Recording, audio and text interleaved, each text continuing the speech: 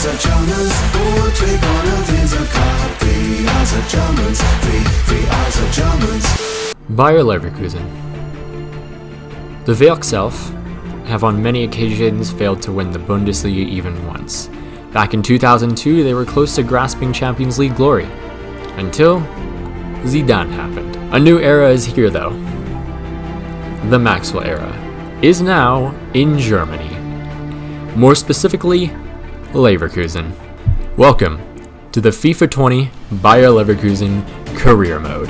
Now, before we get into any of the transfers, let's meet the starting 11. Lukas Hradecky, our starting keeper. At 83 rated, he is going to be a big help for us in the defense.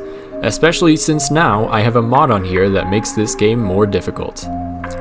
I am not being sponsored. But, do you hate career mode right now? Do you cry yourself to sleep thinking about how EA just does not care about you? Do you play on the PC? Well boys and girls, go download FIFER's Realism mod today. Get player faces, realistic banners, harder matches, and so much more. It's only on the PC, so please do not crucify me if you're on any other console. Link in the description. Onto the back four. Wendell, Jonathan Tah, and the Bender Bros. For right now, we are going to ignore the Urban Dictionary definition of Bender. These two brothers are both 30 years old, both 80 rated, but luckily they do have different names. Sven and Lars. Both benders are solid in defense, but we will definitely need to find some improvements because they're just way too slow. Jonathan Tah, I mean, there's there's nothing else to say about this dude. He's just a brute. And Wendell, I mean, he used to have a high potential in FIFA 16. Midfield, Charles Aranguiz and newly bought Kerem Demirbay.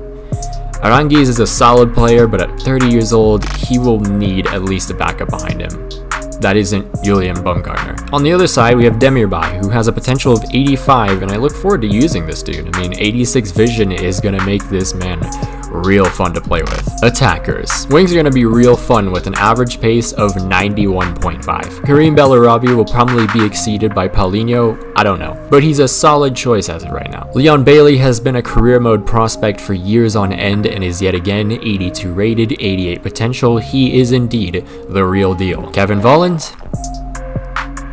White Lukaku. Oh, did I miss someone? Kai Havertz. Undoubtedly the star player of the club, avoiding FIFA for a second, he was ranked third last year in the Bundesliga top scorers. How old is this man, you may ask? He's 20. 20 years old and he is already tearing up the Bundesliga. Currently at an 84 rating, he can go up to a 92 rating. Yes, 92. Am I excited? Hell yeah. So before we get into any of our buys, let's see who we've sold. Joel Pohjanpalo has moved on to Everton for 13.3 million. Alexander Dragovic is now Dragon for 12 million. Wendell is going to Turkey and we in return have gotten a little present of 22.6 million. I gotta, I gotta drink some water for this one.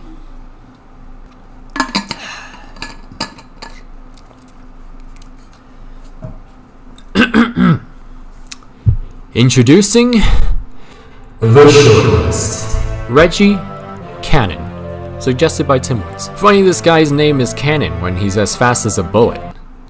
Reggie Cannon, yes, he's American. I'm sorry, I have major biases. Leverkusen have a very slow Lars and a decent backup in Weiser, so I believe Reggie Cannon will provide a good bit of depth since our squad is as deep as a shallow pond. He's 70 rated and has a potential of 82, but he plays like he's 82 rated already. 20 million, done and done.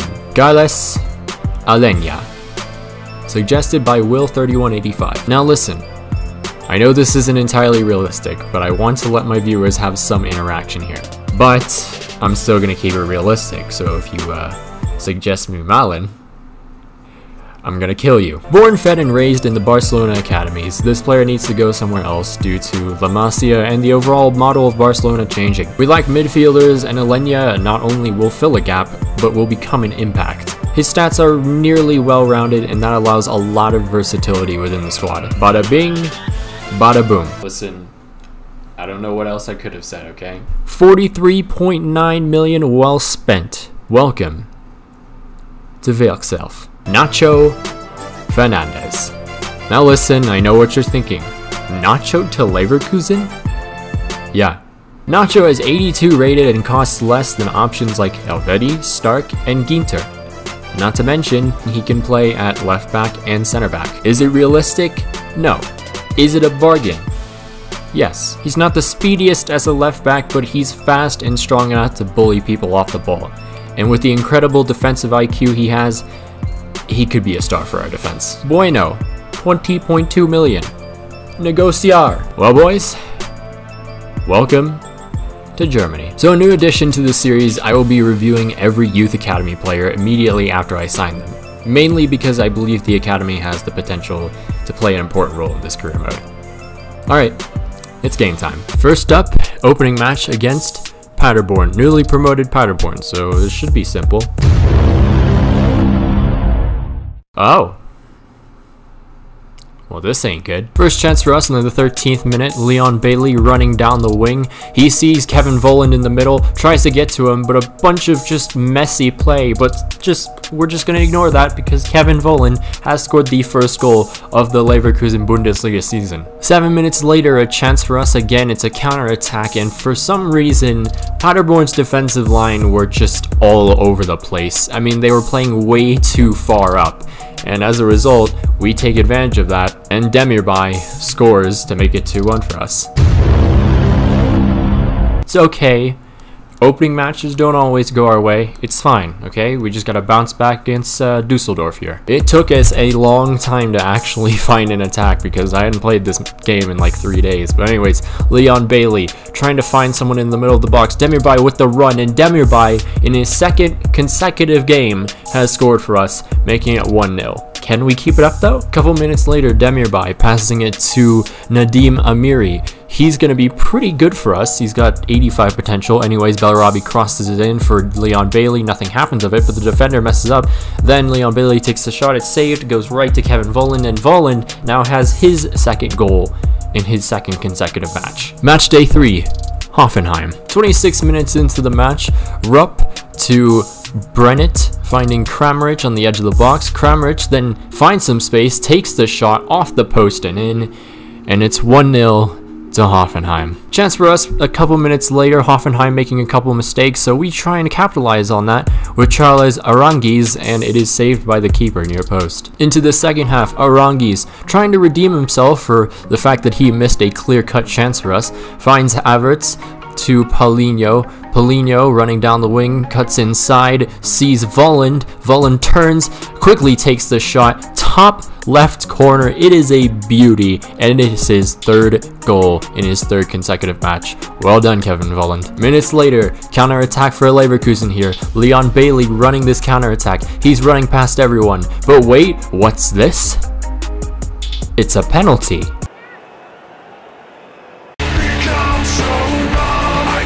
And while I was distracted on the fact that I was just ranting on how bad this penalty system was, Bebou, with all the room in the world, gets past Jonathan Tah and shoots it near post and finishes and scores. It's 2-1 to Hoffenheim off the counter attack, some blistering pace, overpowering our defense yet again. But it's not over until it's over. Jonathan Tah to Nadim Amiri, Aranguiz, Volland, he's gonna run past his defender, take the shot, it's saved by the keeper, it goes right to Nadim Amiri, and Amiri equalizes it with two more minutes in injury time. And now boys, match day 4, we got something special. Borussia Dortmund. 15 minutes into the match, Demirbay on the ball is an attack for us. No, it, it, it's it's supposed to be a foul. That was supposed to be a foul. Depay skilling past one of our defenders. Brandt getting it right past the keeper. Yes, Julian Brandt, right on his debut against us scores against us. What a what a great way to start the season, everyone. But just minutes later, Kareem Bellarabi trying to scout someone out in the box, he can't, so he passes the defender back to Bellarabi, to Havertz, Demirbay, Demirbay sees Volland in the middle, Volland turns, gets past his defender, takes the shot off the post and in. And just like that, we've drawn level against Dortmund. 35 minutes played, Aranguiz getting past the defense through this counter attack here. I'm not sure how he's doing that with not that much pace he has, but anyways, passes it to Havertz in the middle, Havertz off the post also, and he scores. It's 2-1 to Leverkusen in Dortmund right now. 44 minutes played, Marco Reus splits it in the middle. I'm sorry, crosses it to Memphis Depay, heads it right towards the side netting. We got lucky there, boys. 45 plus 1, Demirbay to Bender. Bender sees Bellarabi making a run, decides to pass it to Volland, who then passes it to Bellarabi. Bellarabi with all the room in the world. Can he finish it? No and it's saved by the keeper. 50 minutes played, Delaney all by himself in the middle, all these defenders trying to get to him. Bender tries to tackle him, does a terrible job at it. Delaney takes the shot from outside the box and it's a good save by Hradecky. 67 minutes played, Kareem Bellarabi down the wing, passing it to Kai Havertz on the edge of the box, who cuts inside, Bellarabi in the middle, passing it to him, shoots, scores, it's 3-1 to Leverkusen, and that's how it would end. Three points against Dortmund, in Dortmund. That is a perfect, perfect day. First Champions League match of the season. It's at home and it's against Lokomotiv. Oh, oh no.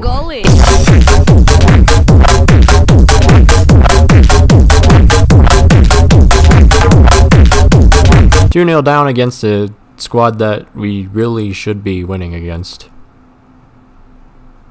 Yeah, that ain't happening.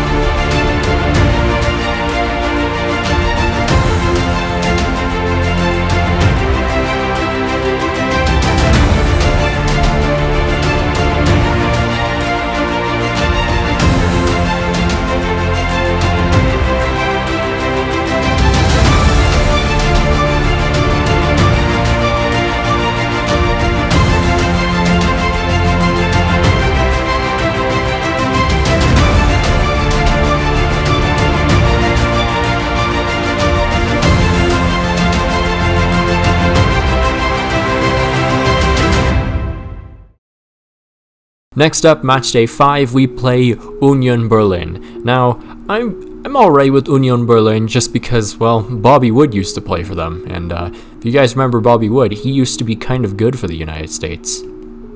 We also have the same birthday. Anyways, Kai Havertz passing it to Kevin Volland. Volland sees Demirbay in the middle. Leon Bailey making that run. Demirbay supplies the ball. Bailey making some room for himself, and he makes it 1-0 just like that. 10 minutes played, we're already 1-0 up. This is a good day. The day would get even better though. Bellarabi to Volland. Bellarabi in the middle, splitting the defense, and he makes it 2-0. 35 minutes played, a chance for Leverkusen. Yeah, I guess we just won't have a clean sheet then. Into the early bits of the second half, Bellarabi running down the wing. Into the box he goes, gets fouled by the Union defender, and it is a penalty. Now can we convert this one? Now for my German folk, I apologize for having any of my American accent mix into your German pronunciations. I really apologize in advance for the next couple of episodes. Oh yeah, we scored by the way. We still aren't done though. Havertz passing it to Kevin Volland. Volland who's been involved in pretty much every single goal it seems like. Leon Bailey making the run, blasted into the back of the net, and that's his second of the day. He's on towards a hat-trick I suppose. A little bit later into the match, Havertz yet again just dictating this midfield it seems like. To Aleñá our new signing, passing it to Leon Bailey. Bailey running past the fullback, takes the shot into the back of the net again, and hat-trick hero Leon Bailey. I'm really liking that that name so far. So guys, like I said before, we're going to have some Youth Academy player reviews. Every single player we sign into the Academy, we're going to review basically. So here we have Cohen Gibbs, left winger. Uh, we have two left wingers already playing for us, um, but you know, it wouldn't hurt to have another one. He has a potential of 57 to 83, so he could be something maybe, who knows, we'll see. Now for our last match in the month of September. Yeah, I know, it's, it's September, it's, it's a little crazy, I know. But we're facing Augsburg, I feel like we should beat this team. Uh, 31 minutes into the match, Aleñá, our new signing, I have to state that every single time, passes it to Kevin Volland. Volland cuts inside, passing it to Aleñá, shoots, scores off the post, and it's 1-0 thanks to our brand new signing. Right around the end of the half, Amiri passing it to Kevin Volland. Volland, who's he gonna scout out this time? This time, hits Havertz. Havertz takes the shot into the back of the net, and it's 2-0 to Leverkusen. Into the second half, Havertz receiving it from Leon Bailey, back to Bailey, to Kevin Volland, takes the fake shot, gets past his defender, and scores himself one. He has one goal and two assists right now. 61 minutes played, Aleñá with a beautiful threaded ball to Kareem Bellarabi. Bellarabi with Volland in the middle, passes it to him, and it is 4-0 to Leverkusen. And just to put the cherry on the cake, or the, the cupcake, or whatever you want to call it, Aleñá scored again, okay? So let us review the table. I need to stop doing that. Bayern, of course, are undefeated, 6 wins in 6 matches. They have 18 points because, well, as we all know, 6 times 3 is 18. Quick maths. Then we have in second place Leipzig, 3 points behind them. We are 4 points behind Bayern in third place, so it's a pretty good start for us. Then there's Werder Bremen in 4th, Dortmund in 5th, and Hoffenheim in 6th. So you guys remember Cohen Gibbs? Yeah, I don't know what happened. But now we have another addition. He's German. His name is Luke Scheibe. He's currently 53 rated, has a potential of 59 to 85, much better than Cohen Gibbs. So hopefully he doesn't die. Oh, he's also 14 by the way. Yeah, did I mention the mod also does that too? Link in the description. Juventus. Yeah, nothing happened. That's Julian Baumgartlinger, and I think I messed up his name in the intro. I'm sorry, I'm not re-recording that, okay? As he's feeling pretty good in form lately, we face up against RB Leipzig. Now, as we all know, the German fan base, and I mean all of the German fan base, not just the German fan base, all of the German fan base, love RB Leipzig.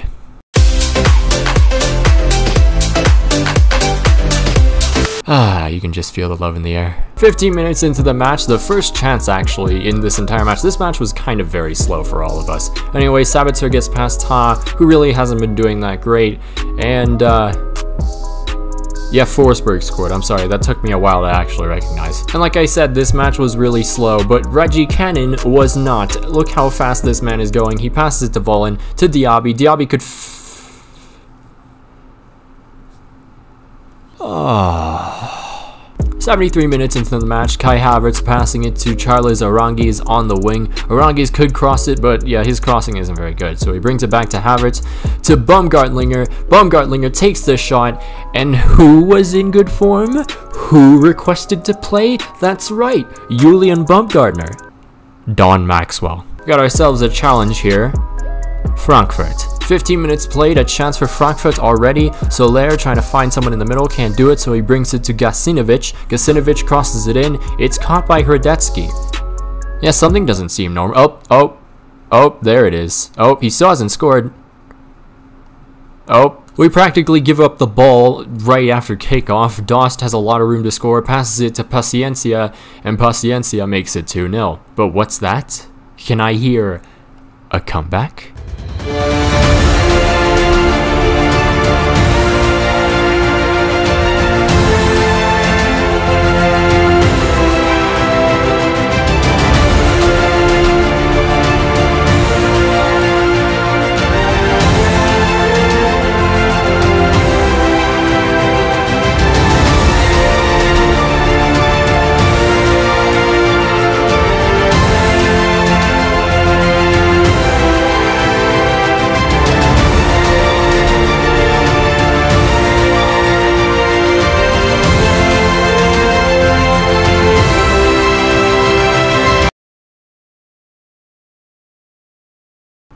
Scheiße.